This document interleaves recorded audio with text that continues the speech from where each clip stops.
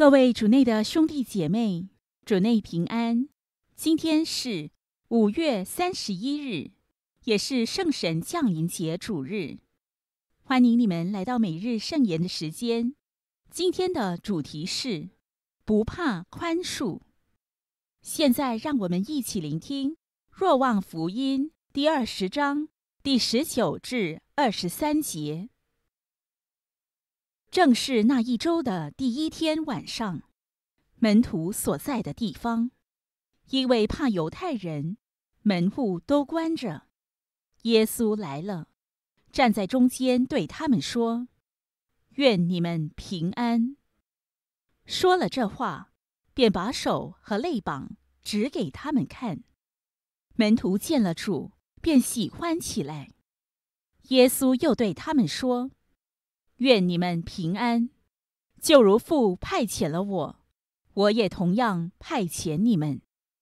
说了这话，就向他们吁了一口气，说：“你们领受圣神吧。你们赦免谁的罪，就给谁赦免；你们存留谁的，就给谁存留。”感谢天主给我们的这一段圣言。接下来。让我们听一听《释经小帮手》。愿你们平安。这是复活的主耶稣对门徒说的第一句话。愿代表耶稣对我们的渴望，他渴望我们平安。但我们自己渴望平安吗？或许我们觉得耶稣的话就像魔术棒一样，说平安，平安就立即改变了人的个性。愿你们平安，代表耶稣会全力以赴支持我们对平安的渴望，但人也要先为平安做出努力，而第一步就是要宽恕。如果心中不平安，看看是否是心里正在怨恨谁、计较谁呢？还是有在责怪自己吗？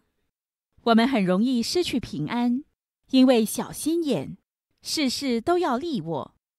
要平安，就是要宽恕，走出自己的害怕和胆小。与其说不愿意宽恕，不如说害怕宽恕。害怕什么呢？害怕丢脸。有什么比丢脸还更可怕的吗？不敢承认自己有错，把事情推得一干二净，为了要保持自己的形象。另外，人也很害怕努力。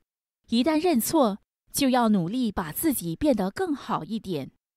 我们不喜欢把自己累坏，还有，我们更是害怕失败。一说自己会改，就会被对方盯着看；一回到老路，就会被他说。这样的失败感太令人丢脸了。请求自己，让已住在你心里的圣神帮助你走出丢脸的恐惧和监狱。求他让你死于救我，活出新我。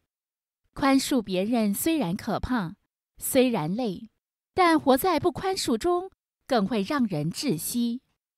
愿如风一样的爱吹进你心里，给复活的主展开门窗。愿自己再次活起来。请品尝圣言，求耶稣在你身上深深吹一口。他充满生命的气，意识到自己被主宽恕，也在我们生活中活出圣言。你还在怨恨谁呢？今天是否可以宽恕一个人呢？最后，让我们静下心来，全心祈祷。主耶稣。求让我把心思放在爱我身边的人，而不是事事都找他们麻烦。这每日圣言祈祷是来自台湾主言传教会。愿天主降福你，也愿我们不再怕丢脸、怕宽恕，让耶稣的爱吹进我们心里，再次活起来。祝大家圣神降临节主恩满满。我们明天再见。